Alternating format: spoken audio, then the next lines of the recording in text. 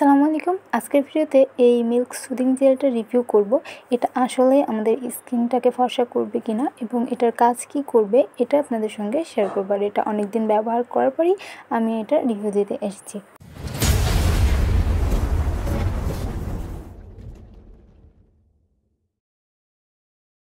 এই জেলটা বিভিন্ন পেজে বিভিন্ন দামে বিক্রি করা হচ্ছে এবং সব পেজগুলোই বলে থাকছে যে তাদেরটা অরিজিনাল তাদেরটা অরিজিনাল প্রোডাক্ট দামের তারতম্য আলাদা। আর তাছাড়া সেলাররা দাবি করে থাকছে যে তাদের এই সুদিং জেলটা মুখটাকে গ্লাস স্কিন করে দিবে এবং অনেকটা ফর্সা করবে। এটা ব্যবহারে নাকি কোনো রকম নাইট ক্রিমও ব্যবহার করতে হবে না। এখন আসি এর আসলেই কার্যকারিতা কী। এটা দেখুন দেখতে অনেকটাই থক থকা টাইপের আর এটা যদি আমাদের স্কিনে লাগায় একটা ফমি ফমি ভাব আসে, এটা একটু মিক্সড হতে সময় লাগে। আর এটা বলে থাকে মুখের সঙ্গে মিক্সড করে লাগিয়ে একটু সময় ওয়েট করে দেন ধুয়ে ফেলতে।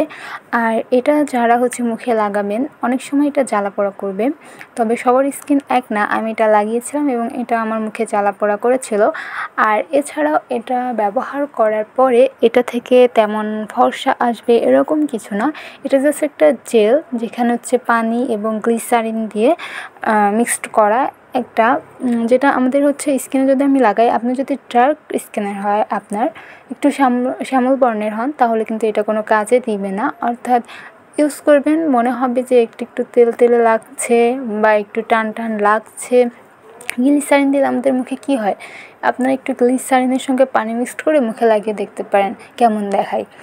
ঠিক একই কাজ কিন্তু এটা করবে, কিন্তু যাদের স্কিনটা একটু ফর্সা টাইপের তারা যদি আরেকটু ফর্সা হওয়ার জন্য এটা লাগান, তাহলে কি হবে? আপনাদের স্কিনে তখন ফর্সার উপরে যখন এই গ্লিসারিনযুক্ত এই স্মুথিং জেলটা লাগানো হবে, তখন একটু টানটানি দেখাবে এবং গ্লাসি গ্লাসি দেখাবে, তাই না?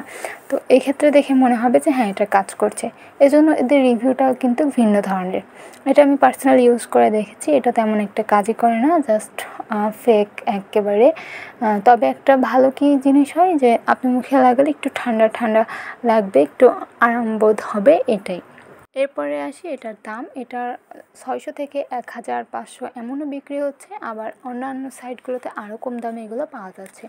অনেকে হচ্ছে দেখাচ্ছে এটা অরিজিনাল, এটা ফেক তো যেটি অরিজিনালও যদি হয়ে থাকে, তাহলে পারে সেটাও আপনি ব্যবহার করার পরে কিন্তু যদি দেখেন যে আপনার ফেসটা অনেক সুন্দরভাবে ফর্সা হয়ে যাচ্ছে, তাহলে কিন্তু ওখানে খুবই রাশ কেমিক্যাল ব্যবহার করা হয়ে থাকে। কারণ এটা পরবর্তীতে আপনাদের ত্বকে কোনো ইফেক্ট ফেলতে পারে।